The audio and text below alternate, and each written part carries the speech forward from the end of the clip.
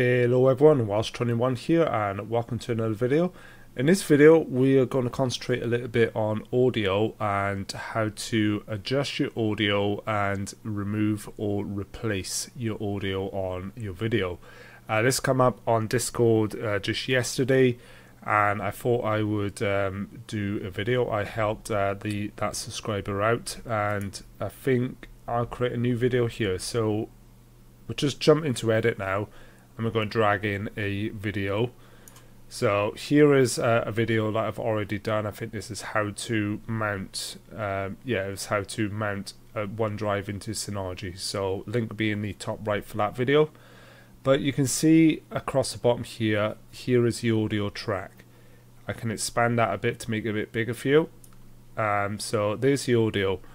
Um, you can see I've just got it so it's um, just at the top there but there's a couple of ways you could do that. See, I'm hovering over here and you can drag this to make it bigger or smaller. And then at the top right as well, under the audio, so make sure inspector is open here, click audio.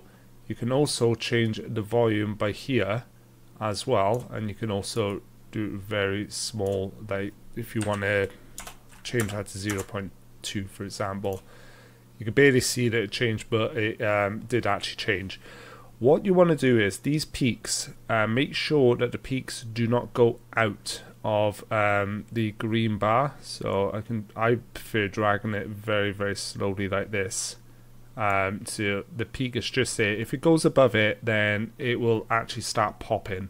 It'll make that a popping sound on uh, the video, um, and it's not uh, very nice.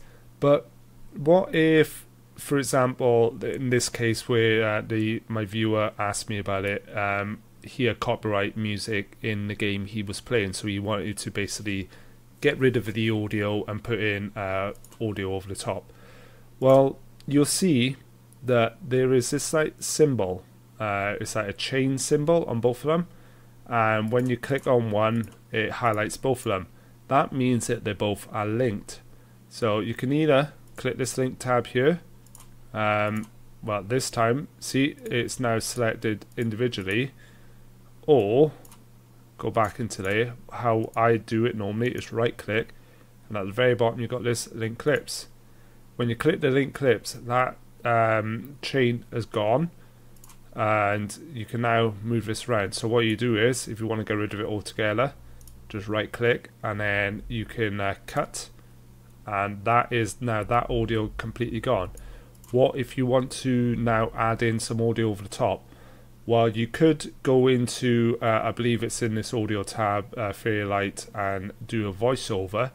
I personally have never done voiceovers on DaVinci, but if you want to see a video on how to do a voiceover, I will most certainly do that for you. But for now, you can see that I've added some copyright free music that you download from um, the uh, YouTube studio. You can literally just drag that in as so and now there you go. You now have audio over the top. And once again you've got this little line here. You can drag this up and down. Normally when it comes to audio especially off the YouTube studio it is already maximum but you normally want to like lower it down a little bit. You can uh, again use this at the top right if you want to. And you can just add in audio as much as you want all the way across for example so that's it. That's basically how you mess around with the audio. Nice, quick, simple video for you all. Uh, if this video is helpful, give me a thumbs up. I will add on again top right. There will be uh, my other DaVinci Resolves. It's a playlist that I have.